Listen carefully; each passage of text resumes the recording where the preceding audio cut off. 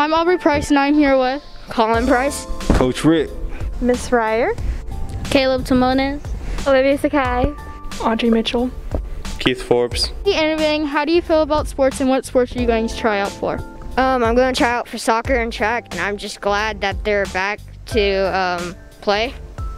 as a coach himself, I really, really love sports. But you know, with sports, it's safety as well.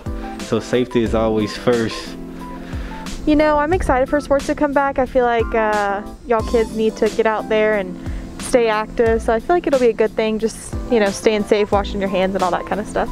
Are you coaching any sports this year? I am. I'm going to be the assistant cheer coach with Miss Giddings. I feel like it might be more difficult from last year. What sports are you trying out for this year? Hopefully football. I feel like um, it's going to be a lot more difficult to play the sports because everybody's going to be on edge. What sports are you trying out for this year? Soccer, softball, volleyball, and cheer. I don't know how they're going to do football because it's a contact sport, but I think volleyball is okay. Think. Like the mask and there's new paperwork you have to do. What sports are you playing this year? Football. That's all for today's video. We hope you enjoyed. Thank you.